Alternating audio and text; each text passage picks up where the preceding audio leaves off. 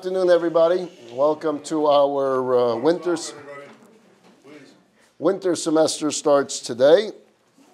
I want to first thank our sponsors for this uh, week's class. Jeff and Lori Goldchin are sponsoring in honor of the yahrzeit of Jeff's father, Charles Goldchin, Yitzchak Ben Zelig. He should have, his neshama should go higher and higher in the heavenly worlds.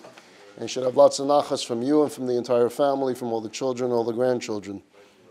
You're very welcome. If anyone's interested in sponsoring any of the classes in the future, uh, there's a website you can go to, chabadconejo.com slash sponsor, or you call Jacob or mention to Jacob, the fellow sitting to my left, uh, and he'll take care of it. You'll tell him the week and the occasion for the sponsorship.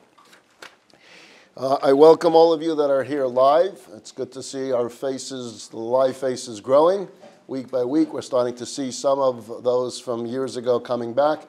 And we do welcome all of our Zoom friends. Nice to see your face too. Thank you very much. Thank you. That's very sweet. Thank you. Um, a welcome to our Zoom audience, to our Facebook audience, and to our YouTube audience. If any of you out there in the uh, universe live in the area, we also welcome you to in the future come back, join us in person. We'd love to see you. And the bonus, besides for the fact that you're going to be socializing and seeing human beings rather than screens, is that we do serve lunch here after class and you'll be able to participate. While if you're home watching on Zoom, we will not be delivering lunch to your home. We are studying the book of Deuteronomy. And literally, What's interesting, I believe I, I, on the calendar two days ago, I think it was, that is the actual anniversary of when Moses gave this speech. Because he started, I believe it's 39 days before he passed away. That's when Moses gave this, this talk of the book of Deuteronomy. And the book of Deuteronomy is really made up of three long speeches over this period of time.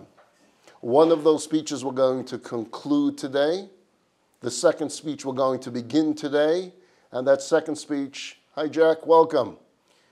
The second speech will go on for quite a few chapters, um, and it will take us quite a few years to go through his speech. So Moses did it in 39 days. We'll try a few years, but we will get to it. But the book of Deuteronomy is this powerful plea from Moses to the future generations. That's as if he's speaking to us today as to what is the importance of there being this chosen nation and what is our mission statement. What are we supposed to do? How are we to act? How are we to behave?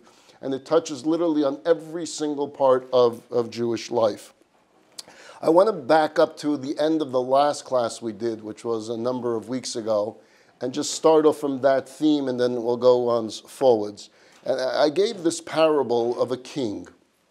And the king was also a wonderful artist. He knew how to draw very, very well. He loved art. He had a prince that was being groomed to become the king, the next king. But he also wanted his son to enjoy art, to love art, to be good at art. And his son actually told his father he would love to learn it. So his father brought one of the great artists in his kingdom, and he said, Your project, your job, is to teach the prince how to be an artist, like his father. And after a session, the artist came back to the king and said, I'm sorry, but I'm not going to be able to fulfill the task you gave me. In fact, I have bad news for you. Your son will never be an artist because your son is colorblind and therefore he will never be able to distinguish between the colors and never be able to figure out exactly how to put that painting together. The king was devastated. He knows how much art meant to him, and he wanted it to mean that much to his son as well. His son was devastated because he also wanted to be an artist, just like his father. And the king thinks, you know, I'm the king. And so, what if this artist said he can't do it? I am sure somewhere in this kingdom I'm going to find someone that will take on this task and take on this mission and turn my son into an artist. So he puts out the word. He puts out an ad on Instagram and on Facebook, every place he possibly can, wanted. I'm looking for someone who can teach my son, the prince, to become a great artist, even though he's colorblind. Artists look at this and say, it's not possible. You can't. I mean, you can't be a great artist if, if you don't have a feel for color, if you can't appreciate the differences and the nuances of each color, of each shade of color. But one guy takes the job and he says, let me give it a, a, a go. And he takes the prince into his studio and they work for day in, day out. They continue to work and to work and to work. He keeps sending notes to the king of progress. It's going well, it's going well, and it's going well. And finally, after months of this, he sends word to the king Your son is now an artist. And what I would like you to do is schedule an evening where all of the king's advisors and their families come together and you make a ball out of it, a dinner, and we'll have a canvas there, and your son, the prince, will get up and he will draw before this audience a magnificent painting. You can imagine the king is so filled with nachas, he's so happy, he's so joyful. he sends out the royal invitations to uh, the hand select people that should be there for this evening, gets the finest of caterers, the finest of foods, the music, everything is there, and on the stage is this blank canvas. And at some point, the highlight of the evening, the prince comes up on stage and he begins. And at first, it doesn't make much sense. They just see him taking a brush and putting one color, and then another color, and another color, and another color. Somehow he's getting beyond this colorblind handicap, but it's still just colors. And as he continues, it begins coming together. And indeed, this magnificent piece of work, this magnificent piece of art, comes out of this. The audience goes wild, standing ovation. And then the prince turns to his audience and thanks the audience and thanks his teacher and thanks the king. And he says, I'd like to welcome you back tomorrow night to do this again. He loved it. He was having such a good time.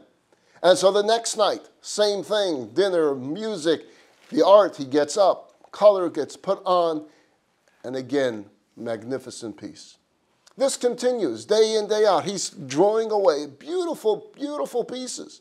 The king is so proud, he's hanging up his pieces all throughout the palace. What was the trick? How did this teacher do it? The teacher came up with the concept that we as children often purchased, and that was paint by number. So, in this very light shade that the people in the room couldn't see, but only the person standing in front of the canvas, he had these very light lines drawn with a number and the number was connected to a different color of the paint. So if it said 15, he went to can 15. The prince had absolutely no idea what color was in Prince 15 because he's colorblind, but he knows 15. That he can see, and he takes 15, and he knew how to go within the lines. Most of us, after we turned seven, were able to stay within the lines. And each time, this magnificent piece that really the artist was, was drawing the outline for was being produced. But at some point, the ego of it all, the applause of it all, the standing ovations that he was getting night after night got into his head. And the prince started believing that he was a great artist. After all, they're all saying that he's a great artist. After all, his pieces are hanging in the palace. And so he tells his instructor, No more of the, I don't need your help. I can do it on my own. And the teacher says, I don't think that's a good idea. I wouldn't do that if I were you. And he says, Oh, let me do it. I can do it. And he gets up the next night. He has no drawing, no, no light color lines, no numbers. And he starts. And in the middle of it, he realizes just how lost he is. Because he absolutely has no idea of what color he's putting up there. And the result was terrible. And there was no applause and there was no standing ovation. Why do I tell you this very strange story that never really happened? because it's a metaphor to our own story. God gave us a mission. It's a complex world with complex human beings, a complex creation. Everything is complex.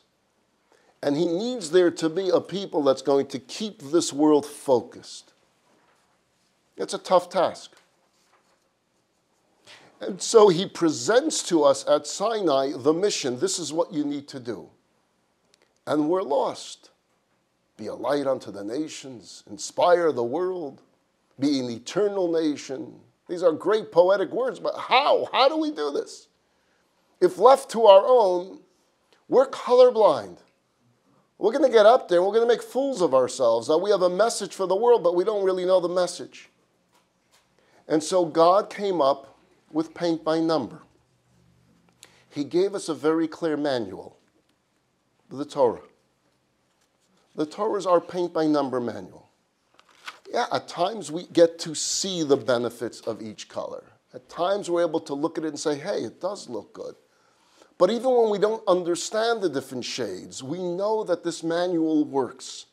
And if we incorporate this manual into our lives and we follow the instructions of it, we end up with something beautiful. And so we're able to put something out and create this masterpiece. But if we decide that we want to be originals, and we want to do it all our own, we want to invent our own religion, invent our own traditions, or change the numbers, or change the color paints, it doesn't really work. And it doesn't really sell. And the next generation looks back at us and says, What's it for? They don't appreciate the value of it because we went off the numbers. We tried to do something of our own. And as we spoke about a number of weeks ago, by nature, the human being likes to find something new and exciting. The world of marketing knows this well by always putting that word new on a product. And by putting that word new, it gets your attention. Because new must mean it's better. Otherwise, they wouldn't have come up with it. Right? So Charmin will come up with the new paper towel, and you're going to buy it. And you'll pay four cents more because it's the new Charmin paper towel. And the same in every single product. The company knows that they'll make one minor change so they don't get in trouble with putting that word new there. And they'll flash in big yellow letters that word new because as you're passing by in the marketplace, you see that word new and it gets your attention. Well, the same thing with everything in life. We are excited by newness. And the danger in that is that at times that which is new is not really good for us, not healthy for us. There's a lot of new fads that come out that are not good for our children, not good for our grandchildren. Unless we give them an anchor, we give them something to hold on to. But if you look at the words, and if you pay attention, uh, if you take, a, if you, those of you that are here, you have the text in front of you. Just look at chapter 11, verse 26. He says, Behold, I set before you today. And that word today is repeated all throughout, which means our job, our task as educators, as parents, as grandparents, as friends, is to keep Judaism relevant today, to make it exciting for today. You see, many would say we practice because it's what Bubby did, it's what Zaidi did. Okay? There's something beautiful about nostalgia. Nostalgia is beautiful for a museum, but it really doesn't work in day to day life. Because you want me to live like Bubby and Zadie and great, uh, great grandfathers and great, well, they had outhouses as well, and we, still, we don't practice that, right? We've modernized ourselves to have something called a toilet that has plumbing so we don't have to go to an outhouse in the middle of the night. We don't live the same lives that Bubby and Zadie, so you want to keep selling it to me. At some point, our children will say, that was good for them in Europe, it's not here in America. Our response has to be that Judaism was not just for Bubby and Zadie. Judaism is alive and exciting and important for us today, for this generation, for tomorrow's generation, for every generation. For it was given by God, and God's uh, infinite in time. God lived before, God existed before there was a world, in early history, today, tomorrow, and therefore a Torah that comes from God is alive and exciting in every generation. Hayom. Make the paint by number exciting today. That's our task. That's what we strive to do. If we simply say it's because of the ways of the past, yes, it may sell to some. But the way to really make Judaism alive today is Hayom. Picture it that God is speaking to us today, that Sinai is happening today. That today we're on the shore of the Jordan River and Moses is speaking to us as we're able to see Israel just a little bit over the Jordan River. And he's telling us what is important for us today so that we're entering Israel today with that same excitement that our ancestors had. We're not commemorating what they did, well, we're living it. That's the power of Moses' speech here. That's what Moses is trying to give over to us. Well, up to verse 29 of chapter 11. And he tells them, and it will be when the Lord your God will bring you to the land to which you come. Those, again, out there on, on social media that are watching it, just listen to the words. If you have a book of Deuteronomy uh, in your house, turn to chapter 11, it's verse 29. When the Lord your God will bring you to the land to which you come to possess it, that you shall place those blessings upon Mount Gerizim and those cursing upon Mount Ebal. So let me set the scene for you. Moses instructs them that when they enter the land, they should have an assembly. Everyone should come together and remind themselves of this mission statement and the blessings that God promised if they follow in the path of God and the consequences if they don't. And this is going to be a very critical moment in time because what changes drastically when we cross that Jordan River, when we enter into the land of Israel? They would have just experienced the fulfillment of the promise, right? The promise that was given to Abraham that your descendants will enter the land. That promise passed on from Abraham to Isaac, passed on from Isaac to Jacob, passed on from Jacob to the 12 tribes, to Joseph, passed on to our ancestors as they were in Egypt. And then we were exiled in Egypt for 210 years, some 90 of those years in, in slavery. But we always had the promise that the land of Israel is going to be given to us. The land of the Canaanites, the Hittites, the Perizzites, the Hivites, the Jebusites are going to be given to us. It's going to be our promised land. We held onto that promise. Then comes the Exodus. Then comes splitting of the sea. Then comes Mount Sinai. Then comes a 40 year detour in the wilderness. For 40 years we wander in the wilderness. But what do we have? The promise. We're going into the land of Israel. Moses is speaking to them, literally, as I mentioned, within 39 days of his passing. What will happen right after his passing is Joshua will take the people and cross the Jordan. They will be in the promised land. The promise will have been fulfilled, but there's a drastic change. Moses is no longer among them. Moses is not there. And that's going to be a very difficult transition for all of us that are standing there listening to Moses talk to us of what we should do when we enter because he won't be there. So he's giving over instructions what they are to do when he's no longer with them. And this is what this assembly should be they should build an altar, they should bring an offering to God to show God the appreciation for this promise fulfilled and to commit themselves to holding true to the mission this mission that Moses is going to be talking about, has been talking about, will continue talking about the Torah, the mitzvot. Moses understood that it would take some time for them to get used to being a nation without Moses. They had a comfort level with him. Yeah, they argued with him, they rebelled against him, but they had a comfort level with him. They knew this man cared for them, and they knew if they had problems, he was the go to guy. And for some reason, this man, he had this connection up above. And that if we bothered him enough and we kvetched enough and we complained enough, somehow he could get water out of a rock. he can get manna from heaven. He can get protection from God in any battles we have.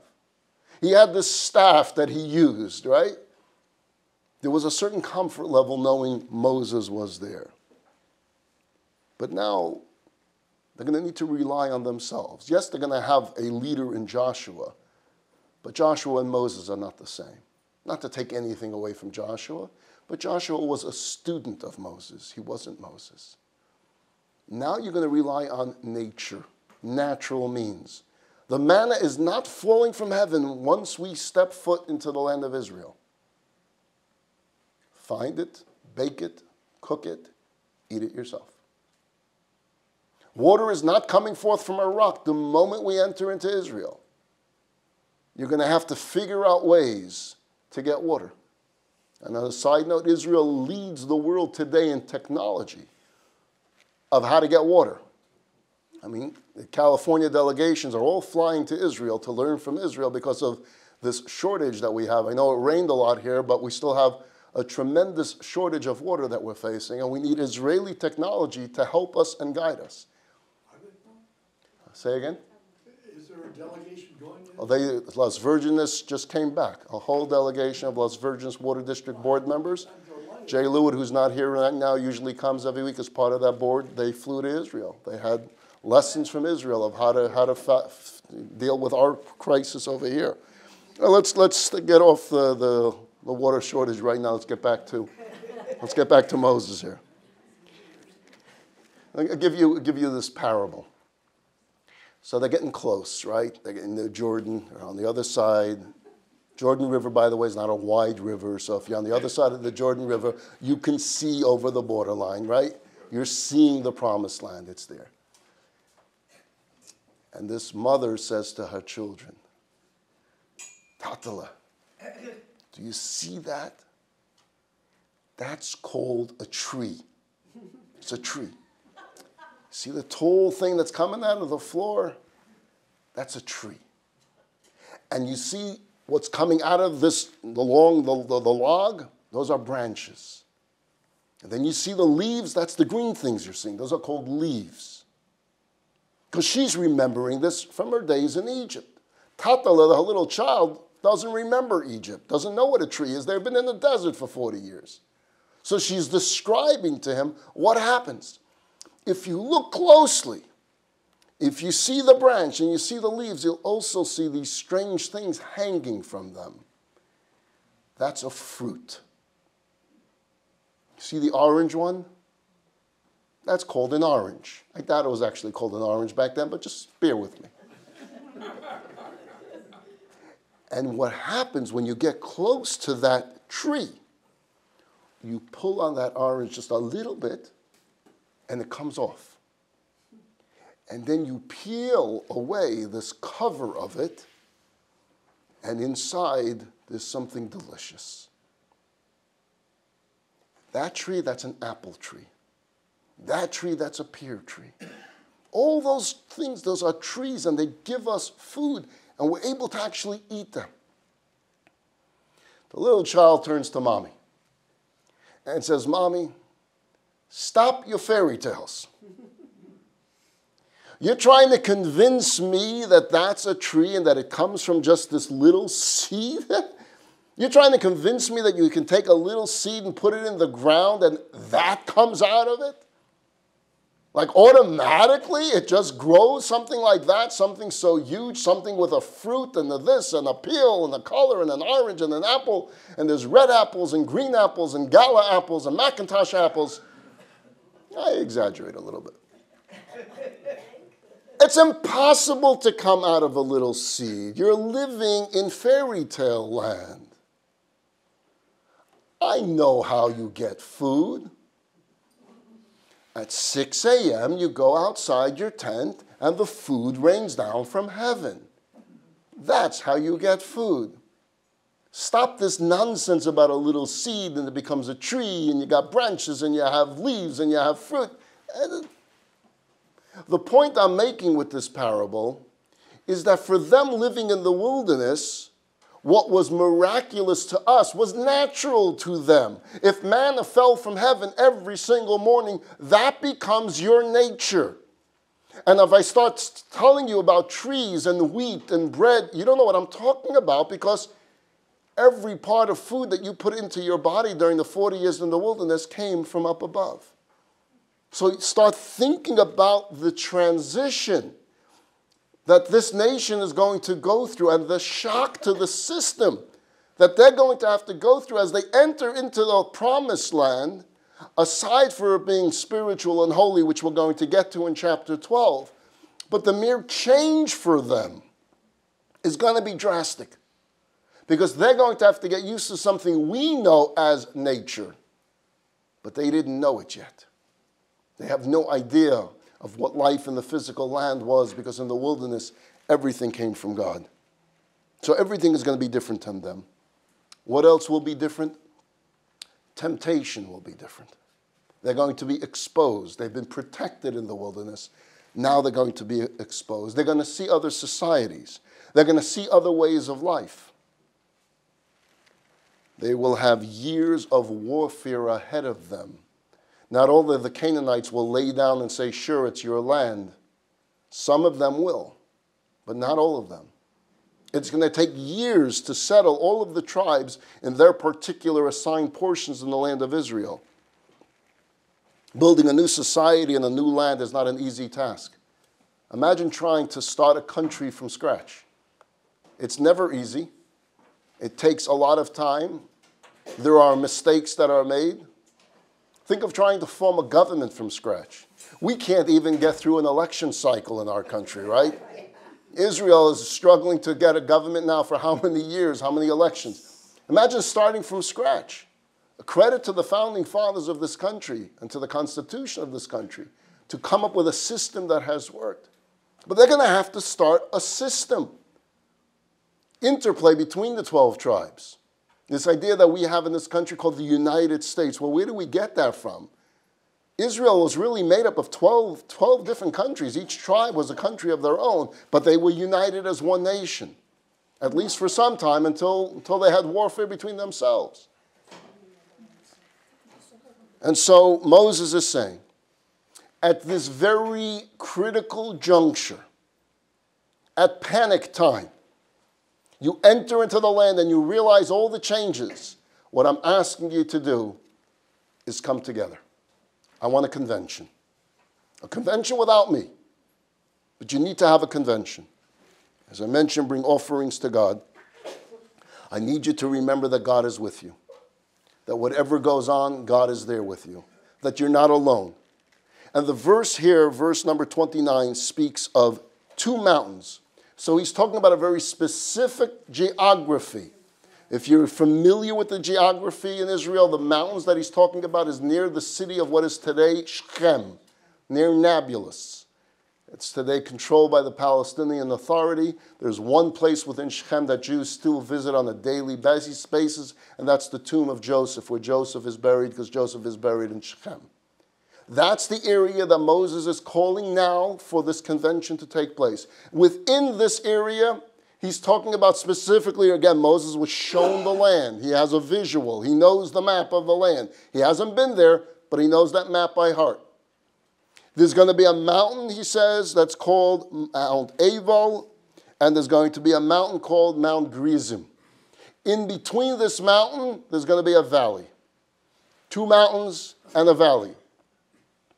Half the nation will be on one mountain, half the nation on the other mountain, and in between, the priests and the Levites in the valley.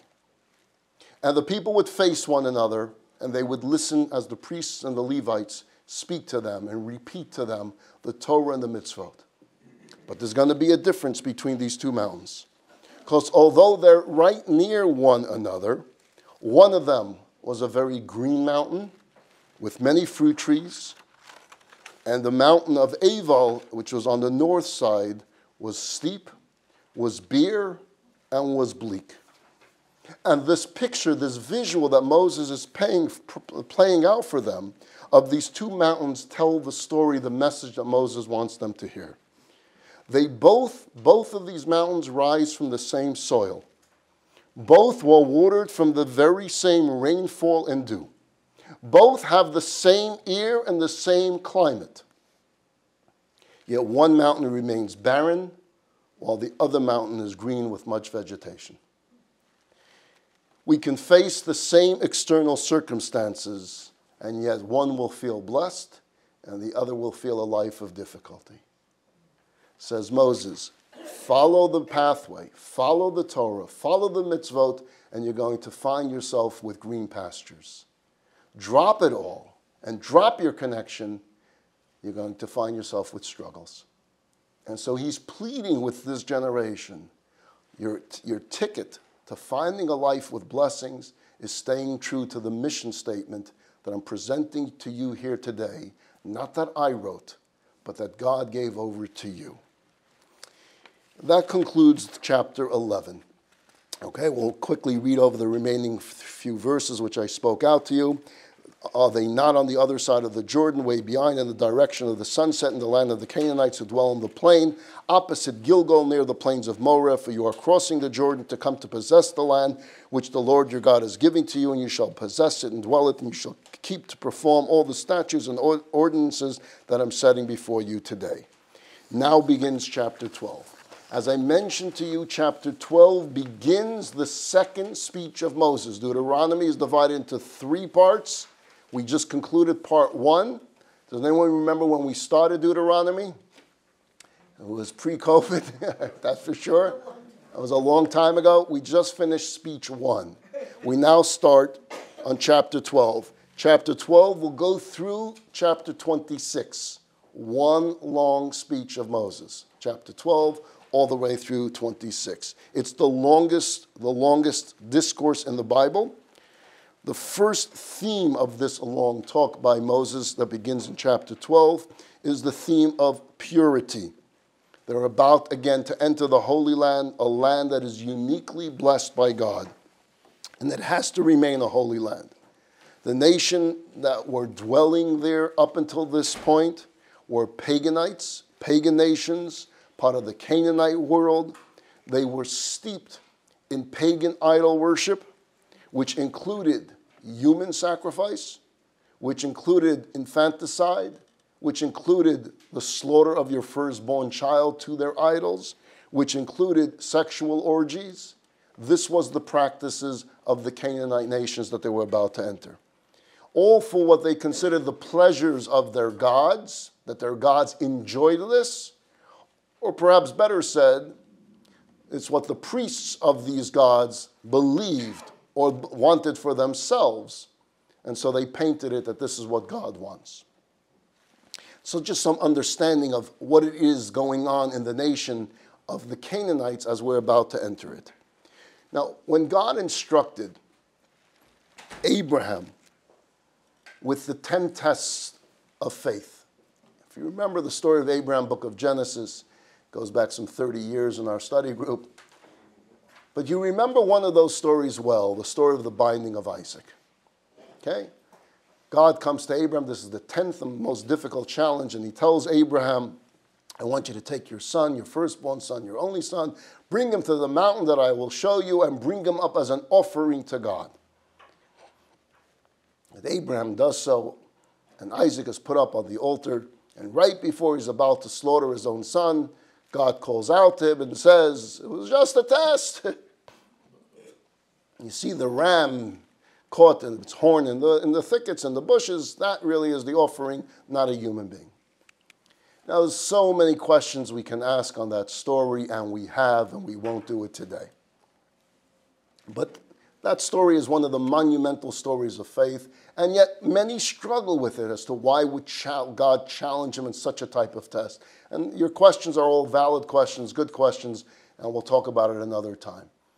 But the point that I want to bring out today is the moment that God calls out to Abraham and says, Stop, what God is making is a statement for all people of all time. And that is, Stop. God does not want you to bring a human being as a sacrifice. That's the bold message. It needs to be known. Stop. Don't ever ever make the mistake that a God, and there's only one God, desires human blood to be spilled before him for any pleasure. Now they're going to actually be entering into a country that practices this. That's the way they worship. And to completely separate the Jewish faith from any of these pagan worships, they're going to be instructed that when they enter the land and take possession of it, they must rid the land of any such places of worship. Again, these are places of murder, these are places of idol worship, these are places of pagan ritual. And God doesn't want any remnant of these in the Holy Land. Why? Number one, because it's a holy land. And two, so that no one ever decides to return to such ritual. It needs to be destroyed. Eila hachukim vehamishpatim, verse 1. These are the statutes and the ordinances that you shall keep to perform in the land which the Lord God, God of your fathers, gives to you to possess all the days that you live on the earth. You shall utterly destroy, verse 2, from all the places where the nations that you shall possess worship their gods, upon the lofty mountains and upon the hills, and on under every lush tree. You shall tear down their altars, smash their monuments, burn their asherim with fire, cut down the graven images of their gods, and destroy their name from that place. God despises idol worship and he despises the murder of the human being for these idols. So, although clearly this was an issue with early civilization, and some of the stories we have about our, our early start of what begins Abraham on this mission was his battle against idol worship. Who was Abraham's father? His name was Terach. What was Terach's line of business? He sold idols. That's how we began a family that sold idols for a living. We were the Macy's of idol worship. We were the store. And Abraham fights against this. And he convinces his father of the silliness of idol worship. And he does battle with Nimrod, who was the king who made himself into a god. So we begin, our story begins with this battle against idol worship. Abraham's outreach to the world at that time was really focusing primarily on a battle against idol worship. He did it through chesed, he did it through kindness, he invited people in, he believed in friendship, but at the same time, in his friendship, he always preached against idol worship. So that's how we begin the battle with idol worship. We find reference to the stories of to, in, in the stories of Exodus, to the idol worshiping ways of the Egyptians.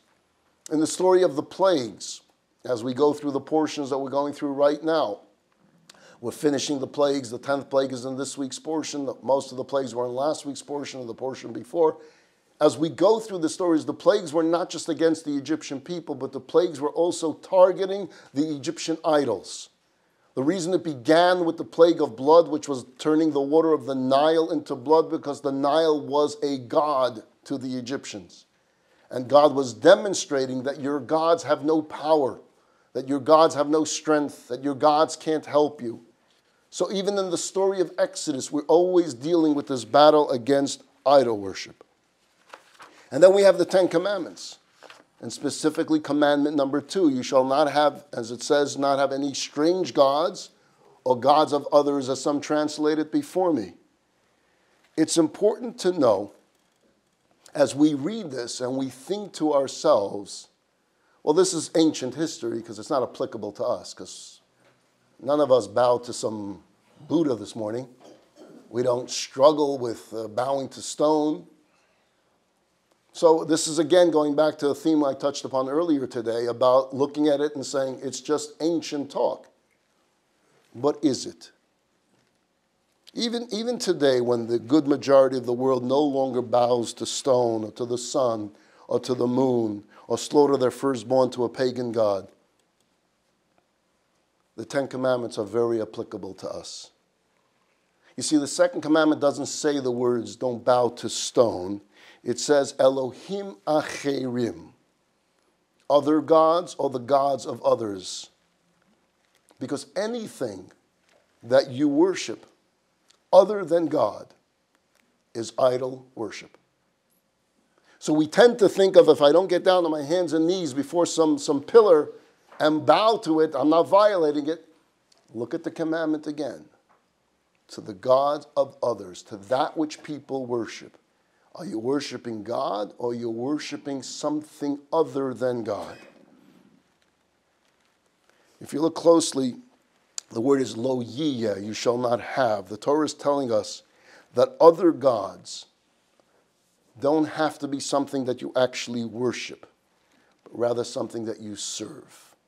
If I change that word from worship to serve, it opens up a whole new list of categories of things that we can do that the Ten Commandments are telling us not to. If you look at it in the context of the first commandment and the second commandment, where the first commandment is, I am God, your God, who took you out of Egypt from the house of bondage and gave you freedom. The second commandment is telling us that you can't be free if you serve others. They lead you back to submission, they lead you to slavery. Don't go back there. You think about it, all the programs and the successful ones that help people with addictions, whether it's AA, alcoholic addictions, whatever it may be, those that incorporate a spiritual, godly aspect to them are more successful than those that don't. And it doesn't make a difference what religion. Doesn't, doesn't, I'm not referring to Judaism necessarily. I'm talking about that there's a spiritual aspect to it. And the, the AA, clearly the meetings have this aspect to it, with that there is a force above us. Call it what you want, but they're referring to God. I'll give you a simple example. I, like so many, I'm trying to diet. I try. I try hard. Eh, it's not easy. It was easy when you're young. You get old, it becomes eh, not so easy. I struggle with Mountain Dew. Those of you that know me for years knows that Mountain Dew has been a weakness of mine since I was a child. I am proud to say, I feel like I'm at AA meeting here. My name is Moshe. I have been off Mountain Dew now for seven months. I have not tasted Mountain Dew. Yes, yes. Out there in the world of Zoom. Yes, seven months. There is Mountain Dew in my refrigerator in the office. Hector will tell you I have not touched it. Seven months. Seven months. I'm not telling you I'm not drinking anything else, but Mountain Dew, seven months, I haven't touched it. I was about at five cans a day. It gave me energy as, woo, it's good. Anyone here love Mountain Dew? It's a great drink. It's like putting antifreeze into your body anytime you need it, and boom, you got energy again.